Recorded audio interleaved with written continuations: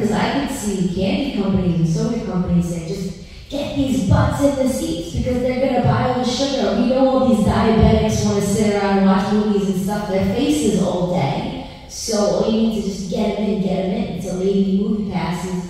Well, that was, that was where they that's where they said that they were going to get money from was the advertising and all these things, but they never did. And that's why the company went, whoo, and went, belly up for chapter seven. Maybe the big owner is really the candy companies, and the candy companies and soda companies own Movie Pass. You're really on a conspiracy theory this episode. At the end of the day, don't trust anyone